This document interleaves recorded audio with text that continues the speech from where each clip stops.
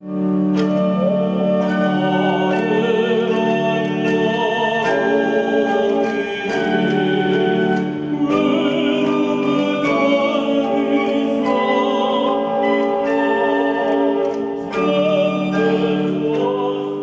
Ce ne sono tanti, alcuni sono sepolti nelle memorie dei più anziani, di altri si ricorda solo una melodia. Parliamo degli inni e dei canti dedicati alla Madonna della Grotta di Praia a Mare, composti agli inizi del Novecento. Per questo motivo, su iniziativa di Maria Giuditta Garreffa, è stata avviata un'operazione di recupero che ha coinvolto il compositore tortorese Andrea Timoleone, che si sta occupando della trascrizione delle partiture, la contralto Lucrezia Lazzari e il tenore Giuliano Greco, entrambi entrambi componenti del coro polifonico Laudate Dominum. Tutto questo per ridare una nuova luce a canti che altrimenti sarebbero andati perduti per sempre. Non ci è arrivato nessuna partitura, per cui mi sono data pena, diciamo così, di recuperare questi inni antichi ma non arcaici chiaramente, antichi della grotta perché non vadano perduti, perché si recuperano le melodie, che una volta che non si cantano più insomma, in chiesa, i giovani per esempio, molti giovani non li conoscono proprio questi inni.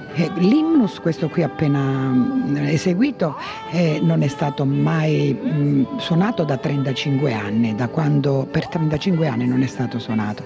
Come sono venuti i padri, i figli di Santa Maria Immacolata, dopo la gestione di Don Domenico Petroni che lo faceva fare molto questo, questo inno, faceva concludere la novena con l'esecuzione di questo inno.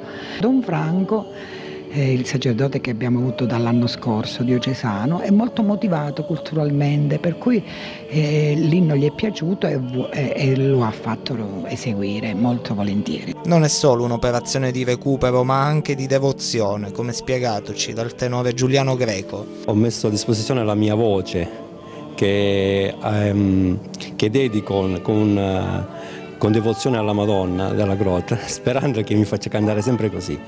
Io faccio parte del coro polifonico Laudate Dom da 20 anni, dal 1991, e quindi sono stato onorato di aver cantato questo quest'inno. Quest